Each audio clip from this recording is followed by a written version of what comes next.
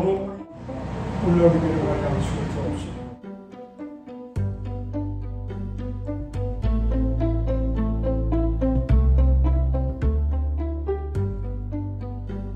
내가 여기서 날 보내서 하며 주 앞에 헌신하는 나와. 될 수 있도록 축복하여 주옵소서.